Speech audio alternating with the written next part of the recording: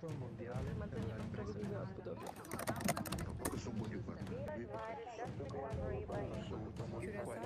Global Just Recovery Gathering. So for today, uh, this morning or this evening, depending on the 今日はですね、えーすごく重要で非常にえー大事なトピック、インターセクショナルな活動のあり方、交差性のある活動、黒人の方、先住民族の方、有色人種の方々をどう、えー気候危機にまの、えー活動に巻き込むかというところです。えー世界が立ち直る際に、えー我々はどうやって一団結してこの危機に立ち向かうか、そのためには全ての人の力が同時に必要となります。今、必要となります。本当に緊急な状況であります。なので、このえ一団結することが本当に必要とされています。誰も取り残されないように、このより良い再建を求める際に、これを忘れなくてはなり、忘れてはいけません。パンデミックから立ち直るときに、コミュニティ、私たちのムーブメント、えーそれそそれを立ち直、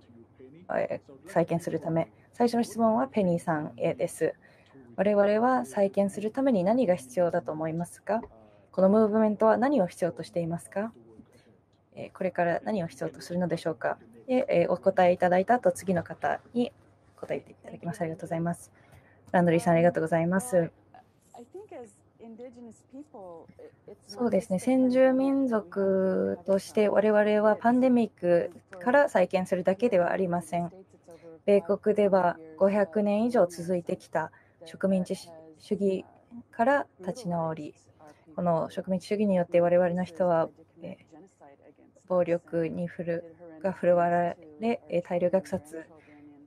えー我々の子供や、えー孫たち、えー寄宿学校の問題とかもありますが、えー何世代にも続いてこういった問題が続いております。私はすべての先米国の先住民族の人の代表として話すことはできませんが、私の周りの人、友達などに、私の知り合いに関しては、我々はこのパンデミックをある一種の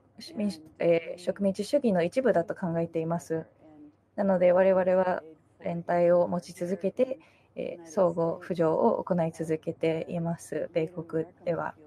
米国ではこの先住民族の人々が他の民族に比べて最も打撃を受けて受けております、パンデミックによって。なので、我々の家族またはコミュニティの人、どなたかを全員失っているのではないかなというふうに思います。有色人種の人、先住民族としてですが、これはオリジナルインストラクションという古くからの伝えられてきた生き方ですね。これは植民地主義が始ま植民地化される前のからずっとあって、これは母なる大地のお腹の上で生きていくための方法ですね。えーバランスを保って調和して相互主義を大事にしして生きていく方法の言い伝えです。我々は、えーこの大地にいるすべての命と平等であり、さらに割と新しいえー命ではあるということです。このようなえー活動をするときには、えー謙虚であり続けて、我々は、えー母なる大地が自分を守るための手段でししかありません。友達のケイシー・キャンプ・コルニックさんが言いましたが、我々何かから引き離れることはできません。なので、私たち先住民族の人、有色人種の人はそこに力を持てると思います。えーたくさんの人は人間であることを何年、何百年も忘れてきていると思いますので、その人たちに教えてあげることができると思います。今は資本主義社会、えー個人主義であったり、個人の貪欲さ、えー他の人に思いやりを持たないことが多く見られますが、私たちはそういった人に、えー何が大切かさ大切なのかをリマインドする義務があるかなと思います。すごく力強い立場だと思います。そうですね、私はグローバルサウス、そして若者として話させていただきますが、我々はまだ再建の段階に行ってないと思います。今は社会経済的問題であったり、ジェンダーに基づく暴力、貧困であったり、暴力乱による問題であったり、いろいろ直面しています。なので、今、再建をする方法というのは、まだその段階に至ってないと思います。なので、今は認知度を上げて、えこの若者が、え南アフリカであったり、世界中の若者がそこを大事にする必要がありますが、え再建を迎えるためには、まず今直面している問題を扱う必要があります。なので、まずは何が起きているか、環境やコミュニティで何が起きているかを理解した上で、これから何が必要かというのを、えちゃんと、えー備えてから、この不平等に立ち向かう必要があると思います。そしてさらにコロナによって、これがより難しいことになりました。なので、私としては、まだ再建を迎えていないと思います。なので、何が必要かというのはまだ言えないと思います。まだいろいろな不平等を立ち、えに直面しているからです。綾川さん、ありがとうございます。そしてペニーさんもありがとうございます。ここに入れることが、お話できることがとても光栄です。ペニーさんが言っていたことを聞きまして、いくつかメモらせていただきまして、すごく似ている考え方、ペニーさんと、あと綾香さんともすごく似ていると思います。私も言いたいところが、すごく強く重要だと思うんですけど、まだ再建のに至ってないというころです。そこに、えー、行き着くまでにどれぐらいあるか分かりませんが、今私たちがやっているアジア太平洋地域での先住民族の運動、フェミニストの運動であったり、アジア太平洋での活動では、えー、我々はまだ奮闘中で、の制度を改革し続けているんですけど、えー、資本主義というのは失敗であったっていうのが分かってきて、新自由主義経済システムというのも失敗していたっていうのは、パンデミックによって明らかになっていると思います。もう多面的な危機に今立ち向かっています。これは気候危機が分かる前からも起きていた問題かなというふうに思います。先住民族のコミュニティが世界各地で受けて、えー、直面しているもの、特に社会に無視されてきた女性であったりも世界中で同じようなことに直面していると思います。さらにそこに、えー、パンデミックが起きまして、一つ、もう一つ、えー、強調したいことですが、今、このパンデミック中に直面する危機、不平等の格差が増えていること、これはたまたまの偶然ではなく、今まであったことが明らかになっているだけです。何が必要かっていうのが明らかになってきました。どうよくすればいいかを考えるタイミングです。そしてもう一つ、ここで言っておきたいことは、何から、再建しないといけないかというのは、過剰な消費や生産からという文化を、回復しなければなりません。これは気候危機を起こしている一つの大きな原因です。そして我々、多くの世界中の政府は、気候危機からどう再建するかということについて話していますが、フェミニスト運動では一番恐れているのが資本主義のグリーン化エコエコに見せかけるということです。そうですね、アクラ、ガナでガナで何をしなければいけないかっていうのは、えー、この問題をまず認識することです。その問題の、えー、深刻さを理解することです。で、それを認識した上で、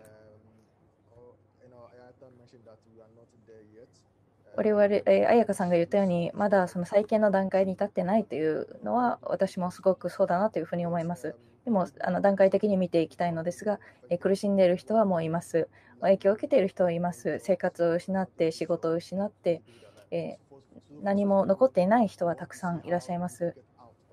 なので、そういった人にとっては、どうすればその状況からえ逃げ出せるかということを考えています、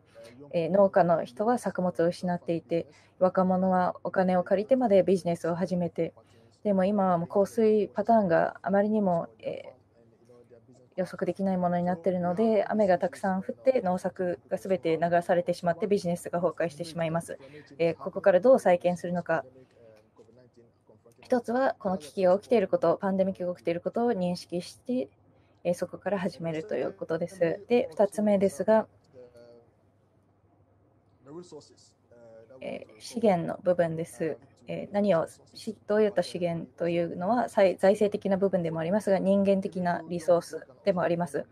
えー若者というのは非常に、えー気候危機の影響に脆弱性を持っていると言えると同時に、えー非常に大きな力になるかと思います。若者の力ですね、えたくさんいますし、スキルも持っていて、能力も持っているので、え若者の力を借りて再建できるかなと思います。パンデミックに対しても気候危機に対してもです。そして最後にですが、えーこれは決意についての部分ですね。一度決意をすれば、えずっとコミットをし続けて、最後までこの問題を見届けるということです。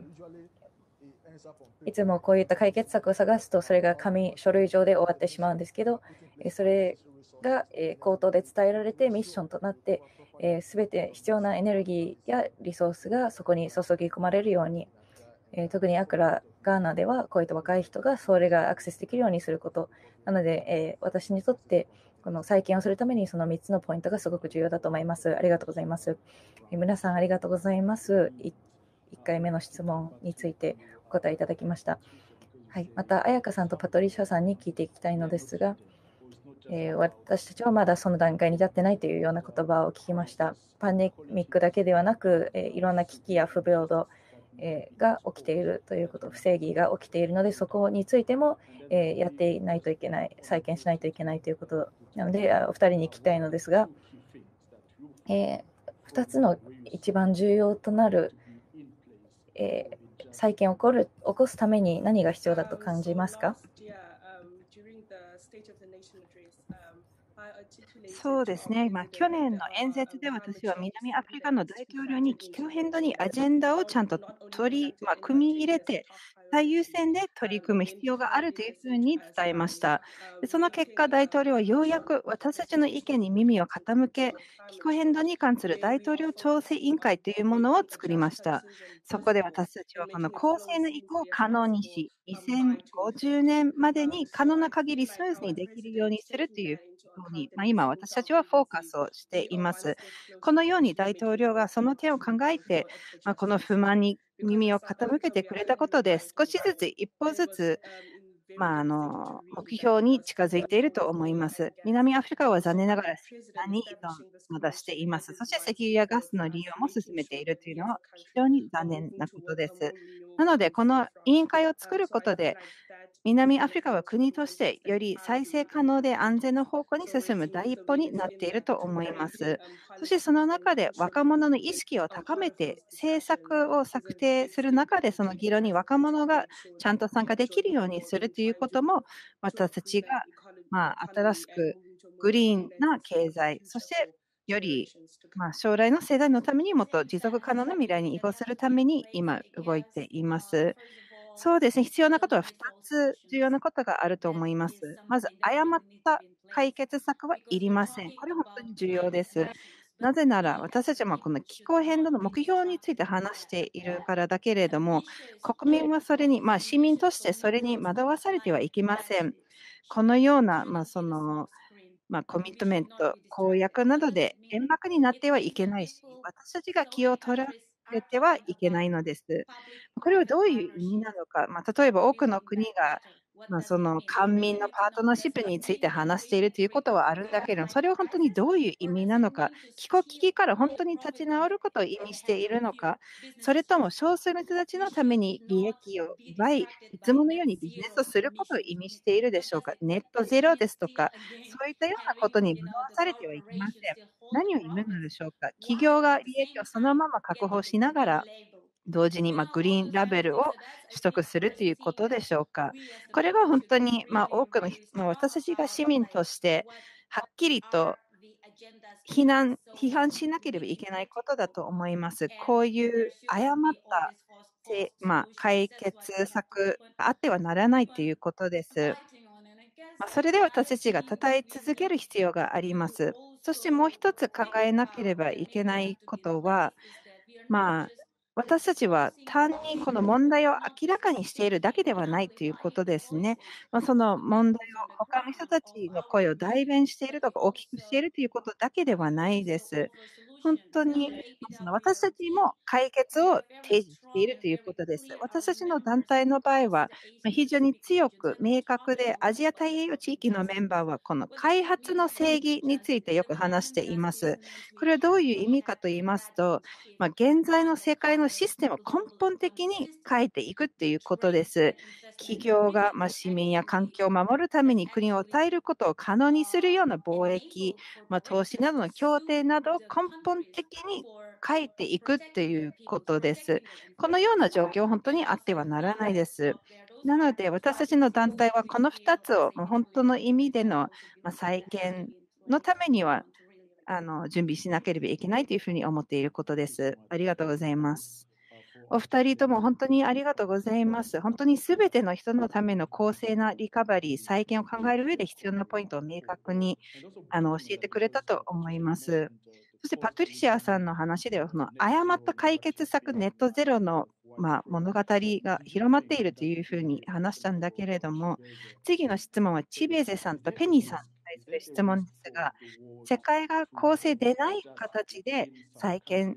してしまう危険性はないのでしょうか。例えばワクチンの問題ですと、導入が始まっている国もあれば、アクセスが本当にできない状況に置かれている国もあります。このような、まあ、問題ももちろん今あるんですね。この感染を防ぐことさえできていない国もあります。どのようなリスクはあるでしょうか？はい、本当にそれは大きなリスクだと思います。これは何百年も前からもパターンがずっと続いていると思います。私自身が行っている、まあ、その運動の、まあ、運動の権利に関する活動なんですが、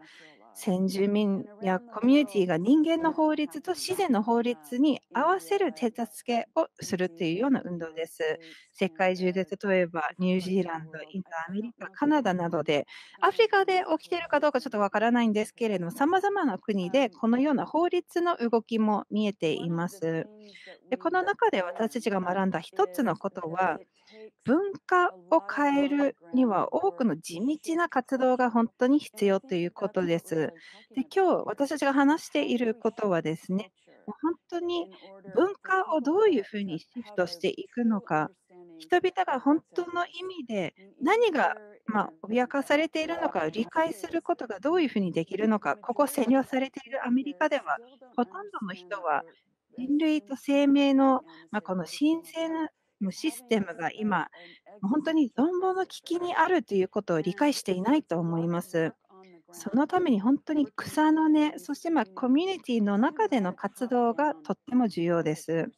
私自身はトップダウン型の人間ではありません。政策ですとか、そういったようなことに関わることもないです。20代の時に、まあ、残念な、本当にそのシステム全体がいかに不正に操作されているのかという恐ろしい経験をしてしまったから、そういったことをせずに、私は常に草の根、そしてま地域、国内、そして国際的にも行ってきました。で私たちが今、本当に転換期にあると思います。まあ、例えば、ネットゼロとは何なのか、まあ、この誤った解決策とは何何なのか、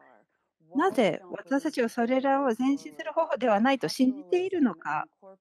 世界中の資本主義と会,、まあ、会社法がどのように化石燃料産業と科学産業を動かし、私たちの健康と環境を破壊しているのかについて、人々が十分に教育することができれば、この問題を解決することができると思います。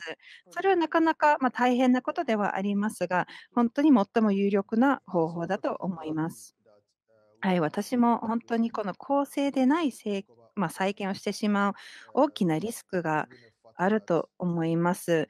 気候変動のま影響、そしてまあ、パンデミックの影響にも人によってその影響が違います。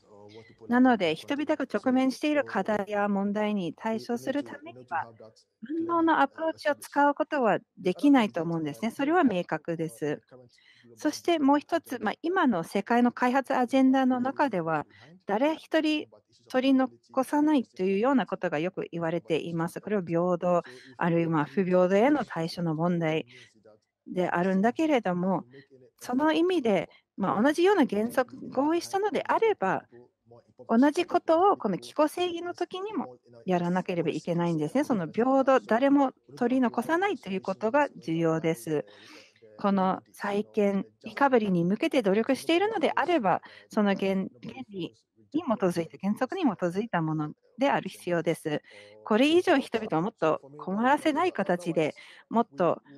まあ、あの誰もが物が奪われたりですとか、拒絶されたり、阻害されたりしないようにするのが重要です。でその中で、まあ、本当に人々を置き去りにしてはいけないとか、もっと悪い状況に置かれているかどうかということを確認する必要があると思うんですね。なので、本当に公正な形で、まあ、立て直すことをするためには、本当にそれに注目する必要があると思います。では次の質問ですが、これらのまあ、この危機的な不平等が、まあ、症状として現れている中で、この戦いの最前線にいるムーブメントビルダーの活動家として、私たちは何をしなければいけないのか、まあ、その地域社会や先住民のリーダー、活動家、キャンペーナーなどとして、公正な再建のために何をしなければいけないのか、まあ、これはすでにコミュニティの中で行われていることでもいいですし、皆さんが参加している運動で行われていることでもいいですが、公正な再建のためには本当に何が必要でしょうか。私たちは何をしなければいけないのか。そうですね、私たちは何をするのかということですが、まあ、まず前に聞いたんですが、やはり若者ですとか、女性、そして先住民が中心にならなければならないという発言を聞きました。まあ、どこから来たにもかかわらず、人々を中心でなければならないんですね。でこれ、繰り返しにはなりますが、チベセさんが言ったように、これは一つのセクターだけの問題ではないですね。まあ、実際に私は各分野で分断されてしまうことはよくあると思います。そのような問題は、まあ、現実としてあります。だからこそ、連帯の文化、まあ、集団主義の文化、私たちのまあ、その運動そのものを強くしていくことが本当に重要だと思います。なぜなら、私たちはこの共通の、ま戦いがあるからです。これは私たちが本当にしなければな、まあ、やら、まあ、しなければならないことの一つです。そして私たちの団体 APWLD にとっては、この戦いは今だけではないというふうに思ってるんですね。これは本当に何十年も何百年も再建をし続けていくものだと考えています。ペニーさんも植民地主義の話をしていましたが、この遺産は今でも本当に残っています。そして、これは北米だけではなくて、まあ、アジア太平洋地域でも本当に世界中の先住民が経験している、まあ、霊俗的な状況があります。そして国の中でも不平等に直面をしています。私たちが APWLD として本当に信じて実行してきたことの一つに、あのまあ、女性の声を中心にするということ、それはフェミニスト参加型アクションリサーチというものなんですが、これはまあ私の団体として草の根の女性の運動と協力をして、女性たちが自分たちの声で直接伝えるために行っているものですね。この気候危機からどのように立ち直るのか語るときに、私の、まあ、この大きな町のチェンマにいる特権のある私が話すというよりも、草の根の彼女たちの役割だと思います。これこそが私たちが築き上げ、まあ、強化し続けている精神なのです。本当に公正のためにはこれが必要だと思います。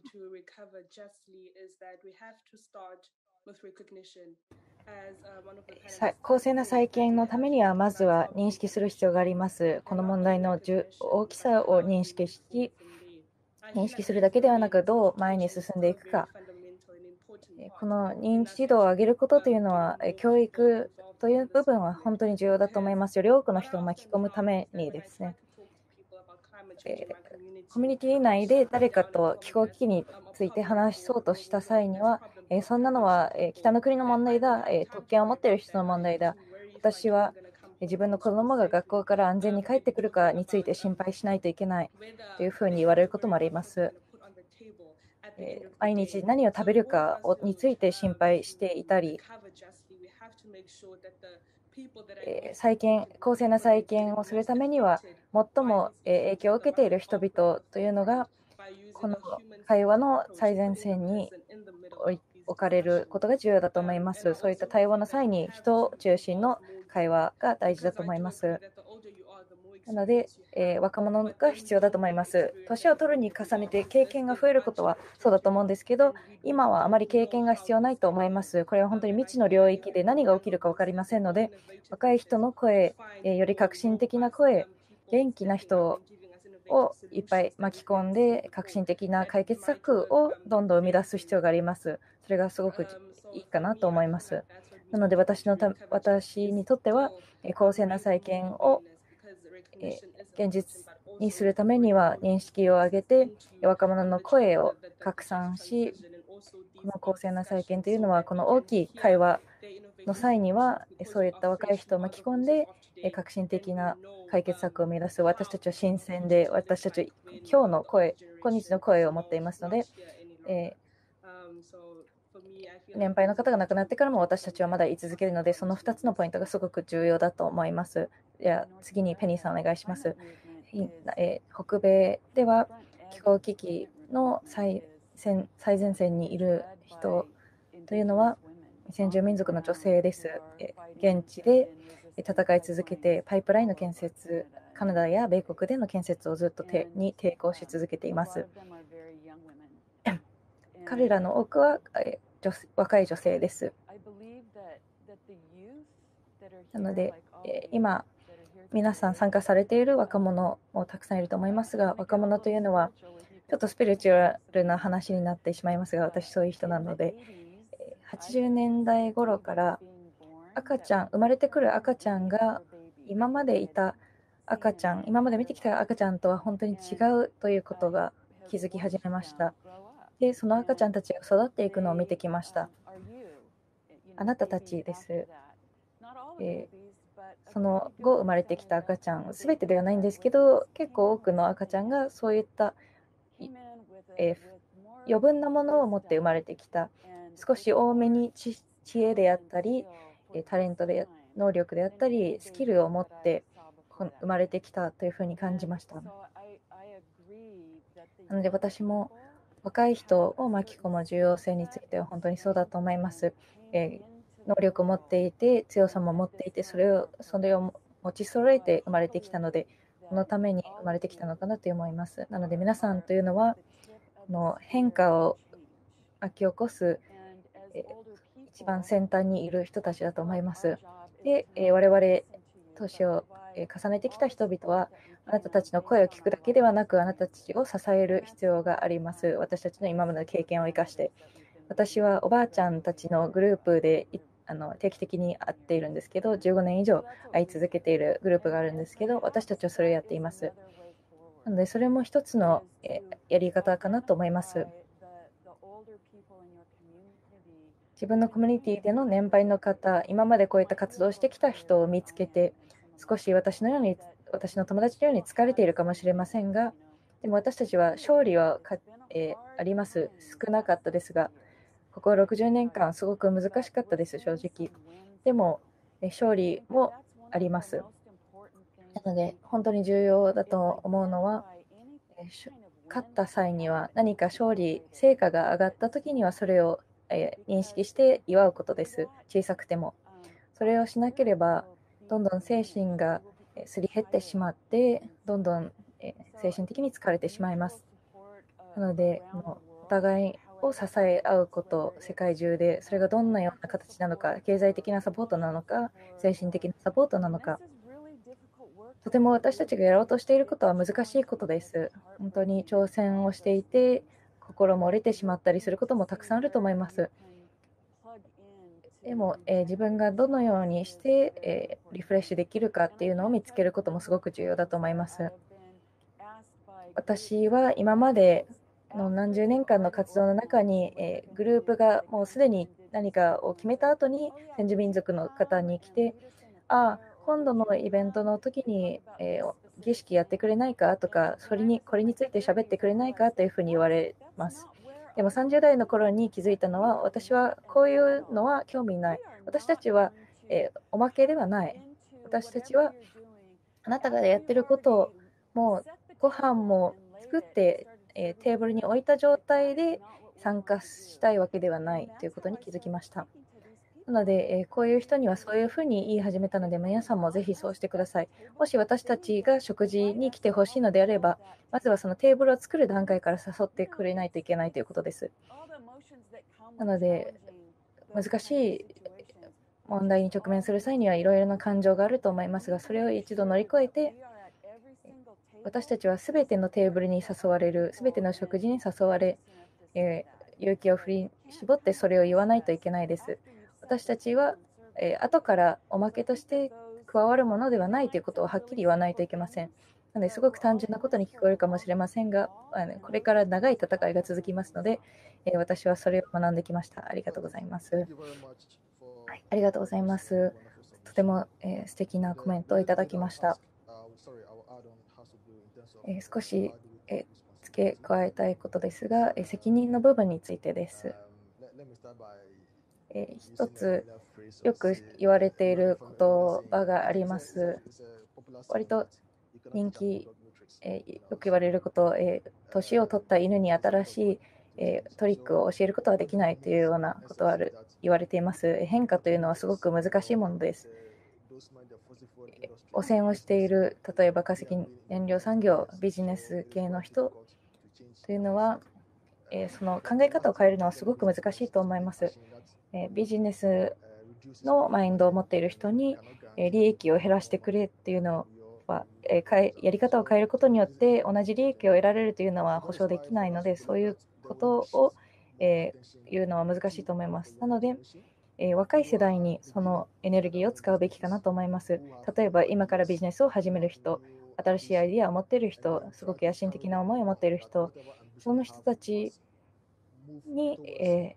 訴えかけることですね。野心を、私たちの思う未来に向けてやってほしいということ、の経済や私たちが求めている未来に向けて同じ活動をしていけるかを確認し合うことです。若者にも責任を取ってもらうための活動です。もう一つやってきたことですが、どのようなエネルギーと力を若者が持っているかということです。えカオスがあるところ、混乱があるところには、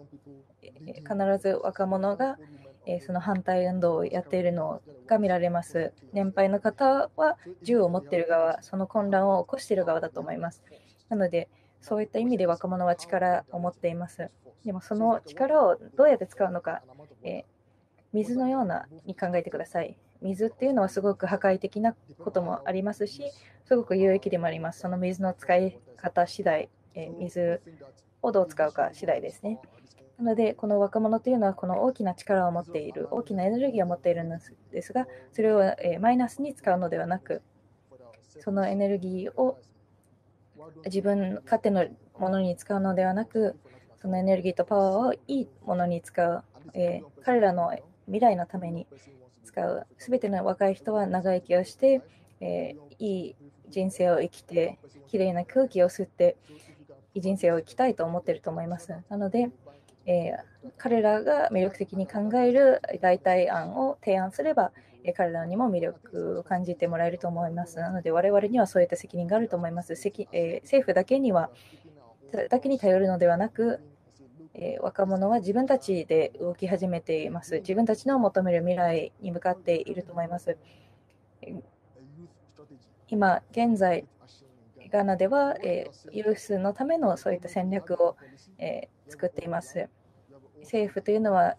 政府の政策があります。政府の計画があります。でも、えー若者が初めて今回、私たちはこういうコンセプトでやりたい、こういう形で気候危機に直面したいというのを言い始めています。なので、私たちも責任の部分に考え始めています。若者も戦う際には私たちの持っているスキルであったり、革新的なアイデアであったり、クリエイティブな部分を持ち寄って、いい解決策を目指したいと思います。なので、この責任という部分は、ガーナの若者には今、すごく注目されている部分だと思います。ありがとうございます。残念ながら、まあ、本当に面白い会話の終わりに近づいてきました。で最後に皆さんに一つのコミットメント、まあ、約束について聞きたいと思います。皆さんは何を約束するのか、何をコミットするのか、まあ、これは例えば今年、まあ、自分自身のためでもそうですし、まあ、この母なる地球のため、そしてより広い社会正義運動のために、どのようなコミットメントをするのか、一つか二つぜひ教えてください。ぜひ皆さんのコミットメントを教えてください。私、この活動を40年以上続けてきたので、まこれからも続いていくっていうことは間違いないっていうことを言いたいと思います。そしてこの母なる地球の権利、自然の権利に関わる多くの活動をこれからもしていきます。あの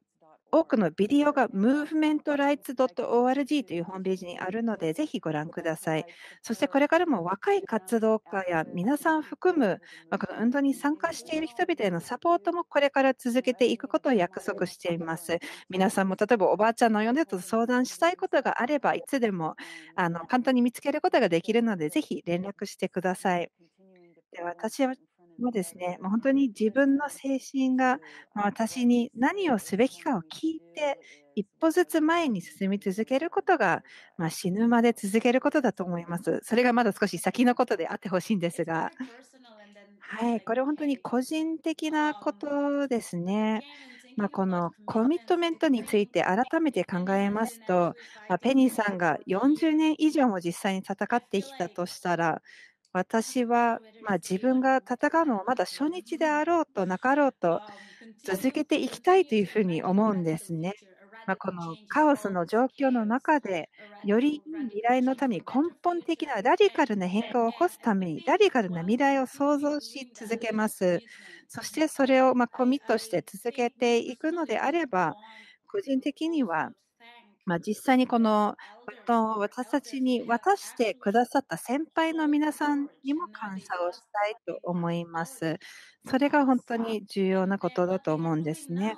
そして私たちが今やっていることはまさに私たちの前にいた先輩の皆さんが実際にやってこられたことですね。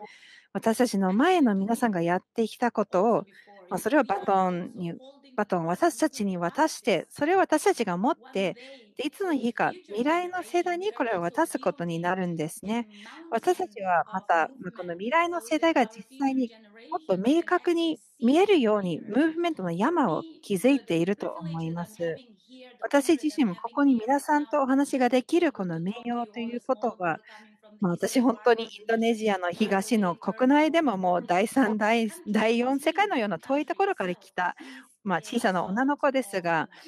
ここが、これができるということは、この集団的な権利、この運動、ムーブメントのおかげだと思うんですね。私たちの権利のために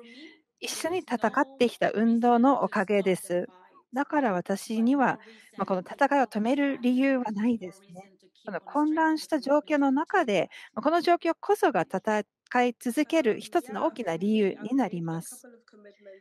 はい、私もいくつか今年コミットメントをしています。まず、個人的なことからお話しします。今年、この1年間を、まあ、自分が住んでいる地域で気候変動についてのキャンペーンを行うことを約束しました。そのために大学を1年間休学をしたんですね。この地域でインパクトのある変化をどういうふうにもたらすのかということにフォーカスをして、そして最も終焉化された声を前面に押し出して、それをま、聞いてもらえるような仕組みを作りたいと思います。私自身は若者の声ですとか、ムーブメントの声と呼ばれることが本当に好きじゃないんですね。それぞれの人に自分が語るべき物語があるからです。私は代弁をするのではなくて、皆さん、他の人たちが自分自身として話ができる舞台を提供することが私の役割だと思います。そしてこの大きな、まあ、この地球、そしてムーブメントのためのコミットメントですが、まあ、この大統領が作った調整委員会の一員として、この草の根レベルの声、最も影響を受けている人たちの声を、この政策を作る場所、まあ、その場に反映をさせていくということです。そしてそれぞれの政策が何を意味するのか、どういうふうに関与ができるのか、それぞれの利害関係がどうにあるのかということを人々が理解できるような形を作るということですね。さまざまな社会の中のグループの間のリンクを作って、そして私たちの戦いがいかに相互にリンクしているのかということを理解してもらうことが重要だと思います。もっと連帯をして、もっと声を上げて、もっと具体的な変化を生み出すために、まあ、次の世代のためにということです。私たちが今ここにいることも、前の,、まあ、あの祖父、母などのためだからです。なので、この戦いを続けていくこと、諦めないことが私のコミットメントです。ペニーさんが話したように、まあ、40年も戦い続けていて、今も続けていくっていうふうに話したんですですが、私もそういうふうにしたいんですね。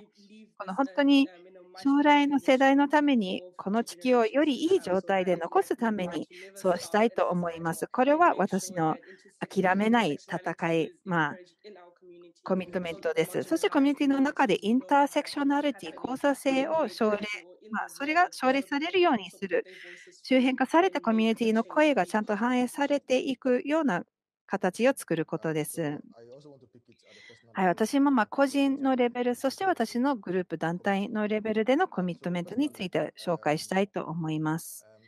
まず、個人的にですが、まあ、ありがたいことに、私は気候変動に関する国のダイアログですとか意思決定プロセスに参加する機会があります。現在、GCF の支援を受けて、国家適用計画を作成している段階です。そして、まパリ協定の要件の一つである国が決定する貢献 NDC の見直しも今、ガーナで行っています。すべてのセクターが、まあそれぞれの行動計画を今作成をしているんですね。でその関連の会議があると、市民団体もその会議に出て自分たちがどういう懸念を持っているのかということを政府に伝えるというような場も設けられています。なので、個人的なレベルでこのような会議に出る場合に、この行動計画によってコミュニティの人々が悪影響を受けないようにするということに心がけたいと思います。まあ、例えば時々いい計画であっても、まあ、意図しないような結果になってしまうということがあるんですね。例えばアイデアは良くても結局は女性ですとかコミュニティに影響を与えてしまうということがあります。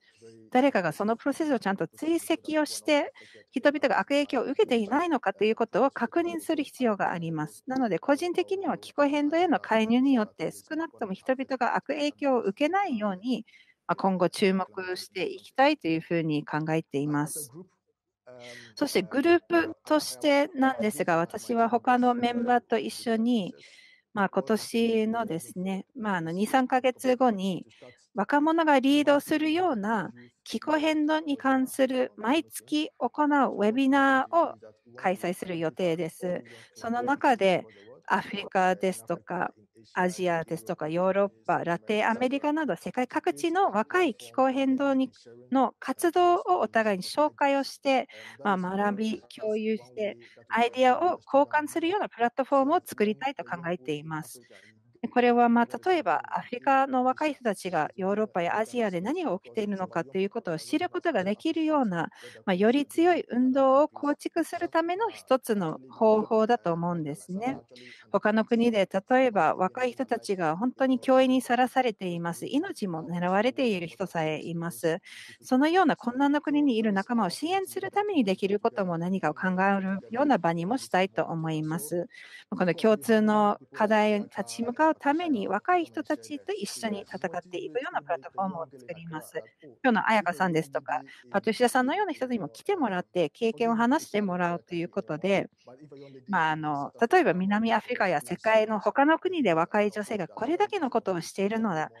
まあ、自分にももっとできることがあるんじゃないかというふうに考えてもらうようなきっかけにできればというふうに考えているんですね。ありがとうございます。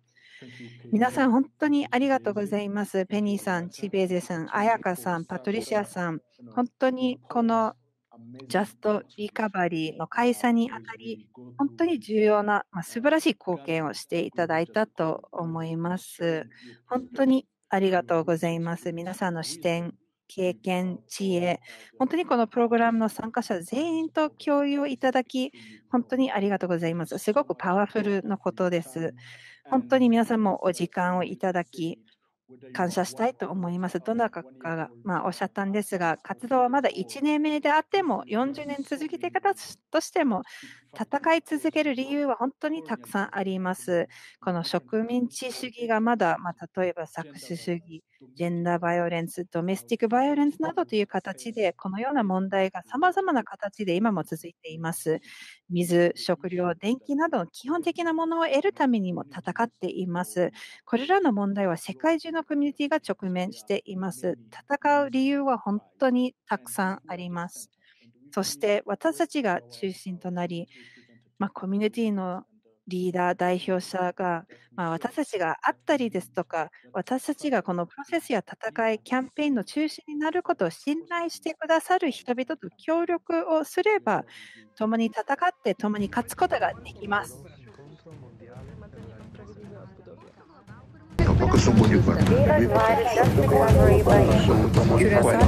Global Just Recovery Gathering